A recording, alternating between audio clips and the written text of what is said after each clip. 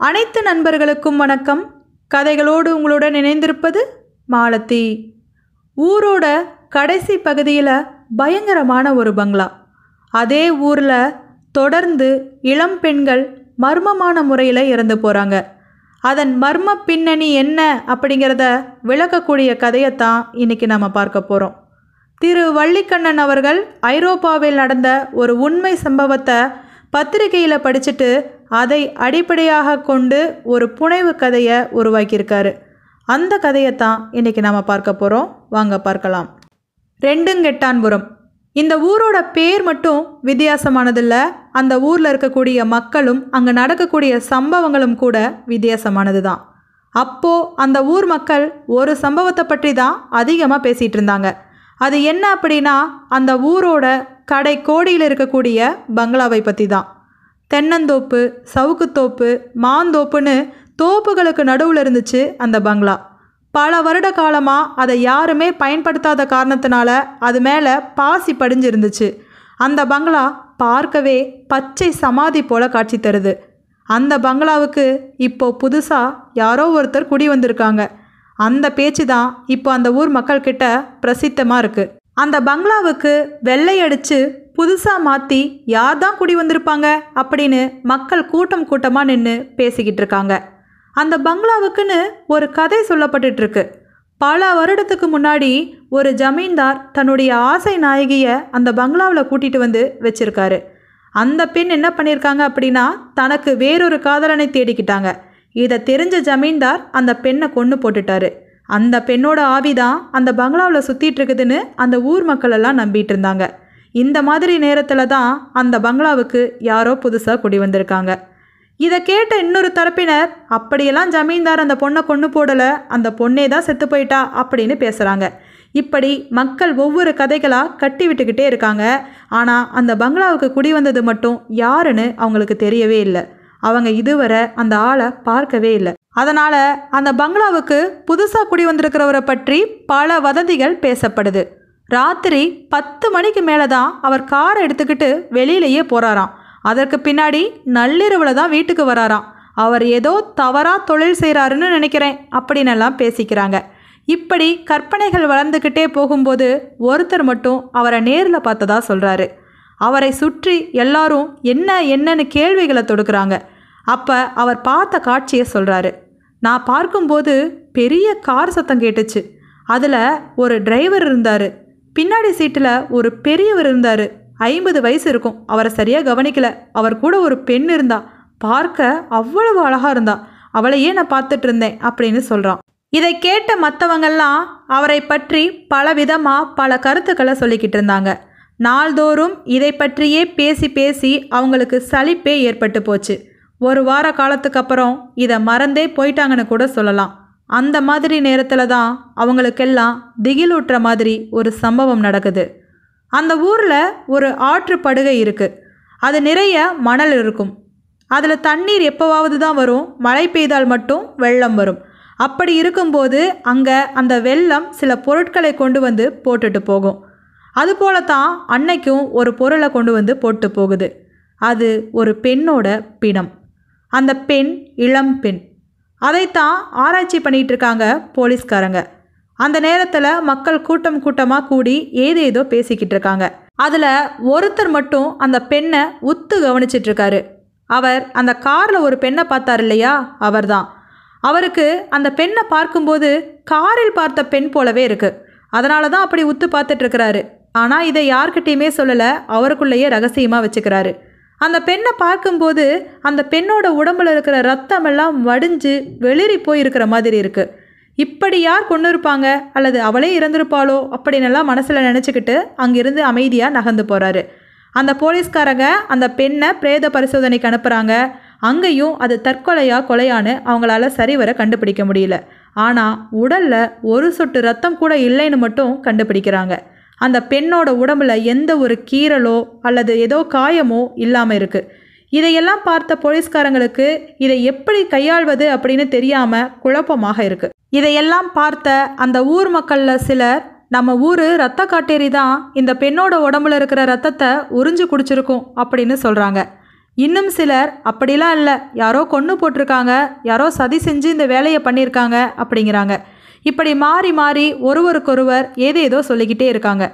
அப்படி இருக்கும்போது தான் அதை மறக்கடிக்கும் வகையில் இன்னொரு நிகழ்வு நடக்குது. அது அந்த ஊர் பள்ளிக்கூடத்தின் ஆண்டு விழா. ஆண்டு விழாவை எப்போதுமே அந்த ஊர் மக்கள் சிறப்பாக கொண்டாடுவாங்க. அவங்க ஊர் மாணவிகளுக்கு பரிசளிக்கும் விழா நடக்கும் போட்டி நடக்கும் நாடகம் நடக்கும். அதனால் அந்த ஊர் மக்கள் எல்லாம் அதில் விரும்பி கலந்துக்குவாங்க. அப்படித்தான் அன்னைக்கும் அந்த ஆண்டு விழாவுக்கு போகிறாங்க ஆனால் அன்னைக்கு இன்னும் ஒரு ஆச்சரியம் காத்திருக்கு. ஏன்னா அந்த பங்களாவிற்கு சொந்தக்காரர் அன்னைக்கு தலைமை தாங்க அந்த பள்ளிக்கூடத்துக்கு வராரு. அது மட்டும் இல்லாமல் அந்த பள்ளிக்கூடத்துக்கு பத்தாயிரம் ரூபாய் கொடுத்துருக்கிறாரு. அதனால் அவர் பெரிய புண்ணியவான் அப்படின்னு பேசிக்கிறாங்க அந்த ஊர் மக்கள். அப்படி அவரை பார்க்கும் ஆர்வத்தில் தான் நிறைய பேர் அந்த பள்ளிக்கூடத்தில் கூடியிருக்காங்க. அப்போ தான் அந்த பங்களாவாசி பள்ளிக்கூடத்துக்கு வராரு. மக்கள் எல்லோரும் ஆர்வத்தோடு அவரை பார்க்குறாங்க. அவர்கிட்ட எந்த ஒரு குறையும் கண்டுபிடிக்க முடியல. பார்க்க நல்லவராக தான் இருக்கிறாரு. தோற்றமும் உடையும் கூட நல்லா தான் இருக்குது ஆனால் ஒரே ஒரு விஷயம்தான் அவர்கிட்ட ஒரு மாதிரியாக இருந்துச்சு. அது என்ன அப்படின்னா அவர் கோட்டில் குத்தியிருந்த ஒரு பூ. ரத்த சிவப்பாக இருக்குது அது பார்க்க வெள்ளை துணியில் ரத்தம் சிந்துனா எப்படி இருக்கும்? அப்படி இருக்குது அந்த பூ வினோதமான ஈர்ப்பை கொடுத்துச்சு. அதனால் மக்கள் எல்லோருடைய கண்களும் அவருடைய கோட்டில் இருந்த பூவில் தான் இருந்துச்சு. அது என்ன புதுசாக இருக்கே அப்படின்னு பேசக்கூட செஞ்சாங்க. அப்படி இருக்கும்போது தான் அந்த ஊர் மாணவி குமாரி பவானியோட நாடகம் நடந்துட்டுருக்கு. அந்த நாடகத்தில் அவள் கதாநாயகியாக இருக்கா ரொம்ப சிறப்பாக நடிக்கிறா அதை பார்த்து எல்லோருமே கைத்தட்டுறாங்க. இதை பார்த்து வியந்து போன பங்களாவாசி ருத்ரமூர்த்தி பவானியை பாராட்டுறாரு பரிசும் கொடுக்குறாரு. விழா முடிஞ்சதும் எல்லோருமே கிளம்பி போகிறாங்க மாணவிகளும் கிளம்ப ஆரம்பிக்கிறாங்க. கொஞ்ச நேரத்துக்கு அப்புறம் பவானி இன்னும் வந்து சேரலை அப்படின்னு அவளுடைய பெற்றோர் தெருவுக்கே வராங்க. எல்லோர்கிட்டையும் விசாரிக்கிறாங்க பவானியை அந்த தெரு முனையில் பார்த்தமே அப்படிங்கிறாங்களே தவிர அதற்கு பின்னாடி பார்த்ததா யாருமே சொல்லலை. பவானியை தேடி அவளுடைய பெற்றோர்கள் அலைகிறாங்க அடுத்த நாள் காலையில் கூட அவள் வராமல் போக அவளோட பெற்றோர் பயந்து போய் போலீஸ்கிட்ட சொல்கிறாங்க போலீஸ்காரங்க அவளை பள்ளிக்கூடத்து தோட்டத்திலிருந்து கண்டுபிடிக்கிறாங்க. அரை மயக்கத்தில் வெளிரி போய் இருக்கா.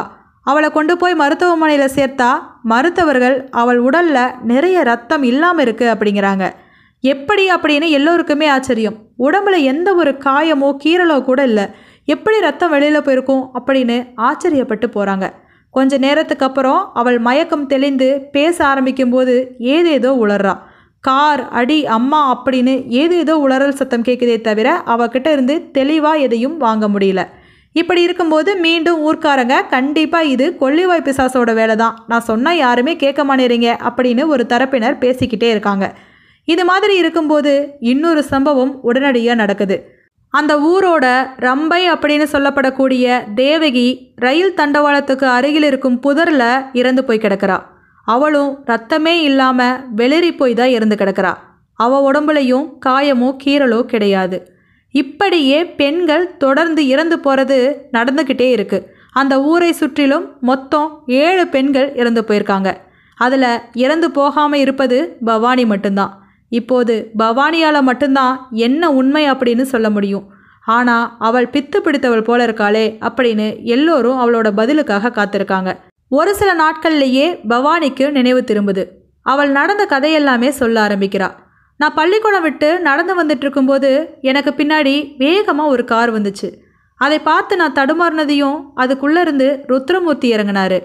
அவர் ஏன் இப்படி தடுமாறுற? வா நான் உன்னை கொண்டு போய் உன் வீட்டிலையே விடுறேன் அப்படின்னாரு. நான் அவர் காரில் ஏறிக்கிட்டு கிளம்பிய போது அவர் கையில் ஏதோ கைக்குட்டையை வச்சுருந்தாரு. அதை சுழற்றவும் எனக்கு மயக்கம் வந்துடுச்சு அதுக்கு பின்னாடி நான் முழிச்சு பார்க்கும்போது அவருடைய பங்களாக்குள்ளே இருந்தேன். அந்த பங்களா வினோதமாக இருந்துச்சு. அவர் இருக்கக்கூடிய அறையில் மெழுகுவர்த்தி பெரிய பெரிய விளக்குகள் ஏதேதோ இருந்துச்சு. ஒரு கண்ணாடி ஜாடியில் சிவப்பு கலரில் தண்ணி இருந்துச்சு. அதுக்குள்ளே பூக்களை போட்டு வச்சுருந்தாங்க. அந்த பூ கூட அவருடைய கோட் பேக்கெட்டில் இருந்துச்சு. அதே பூ தான். பஞ்சை ரத்தத்தில் தோய்த்தா எப்படி இருக்கும்? அப்படி இருந்தது அந்த பூ. அவ்வளவு அழகாக ரம்மியமாக இருந்தது. நான் அவர்கிட்ட அதை பற்றி கேட்டேன். அவர் அதை பற்றி தான் நான் ஆராய்ச்சி பண்ணிகிட்ருக்கேன் நான் உருவாக்கின பூ தான் இது. பயிர்கள் பற்றிய ஆராய்ச்சி தான் என்னுடைய வேலை அப்படின்னு சொன்னார். அப்படின்னு சொல்லிகிட்ருக்கா அது மட்டும் இல்லாமல் எனக்கு குடிக்கிறதுக்கு பாதாம் கீர் மாதிரி ஏதோ கொடுத்தாரு. அதை குடிச்சது தான் தெரியும். அதுக்கப்புறம் எனக்கு எதுவுமே தெரியாது அப்படிங்கிறா. அதற்கு பிறகு போலீஸ்காரங்களுக்கு எல்லாமே தெளிவாக தெரிய ஆரம்பிக்குது. இது எல்லாமே செய்தது அந்த ருத்ரமூர்த்தியாக தான் இருக்கும் அப்படின்னு சொல்லி அங்கிருந்து கிளம்பி போகிறாங்க அந்த ஆற்று படுகையில் யாரோ ரெண்டு பேர் நின்று ஒரு பெரிய பிணத்தை தூக்கிட்டு வர மாதிரி தோணுது. அதற்கப்புறம் அதை உற்று கவனித்து அவங்க பக்கத்தில் போய் கையும் களவுமாக பிடிக்கிறாங்க. அது வேற யாரும் இல்லை. ருத்ரமூர்த்தியும் அவருடைய டிரைவரும் தான். ஒரு பெண்ணோட பிணத்தை அங்கே இருக்கும் புதரில் தூக்கி வீசிக்கிட்டு இருந்தாங்க. அவங்கள கையும் களவுமாக பிடிக்கிறாங்க போலீஸ்காரங்க.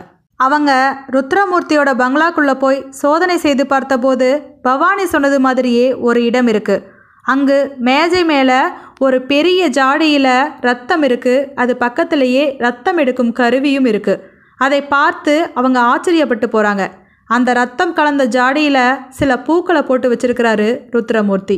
அந்த பூக்கள் எல்லாமே ரத்த சிவப்பு நிறமாக இருக்குது அதை பற்றி ருத்ரமூர்த்தி கிட்ட கேட்டால் அதுதான் என்னோட கண்டுபிடிப்புகள் அப்படின்னு சொல்கிறாரு பெண்களுடைய ரத்தத்தை ஊற்றி வளர்த்தா பெண்களுடைய நளினம் மோகனம் எல்லாமே அந்த பூக்களுக்கும் வந்துடும் எப்படி ஜொலிக்குது பாருங்க. எவ்வளவு மோகனத்தோடு இருக்கு பாருங்க அப்படின்னு அதை பற்றி பெருமை பேசுகிறாரு இதற்காகத்தான் பெண்களை கொன்னையா அப்படின்னு கேட்டால் நான் கொலை செய்யணும்னுலாம் நினைக்கல. அவங்க கிட்டேருந்து கொஞ்சம் ரத்தம் எடுத்தேன். அதை கூட அவங்களால தாங்க முடியல. அவங்களா இறந்து போயிட்டாங்க. அவங்களோட உடலோ உயிரோ எனக்கு தேவை கிடையாது. அவங்க உடலில் இருக்கிற ரத்தம் மட்டும்தான் எனக்கு வேணும்.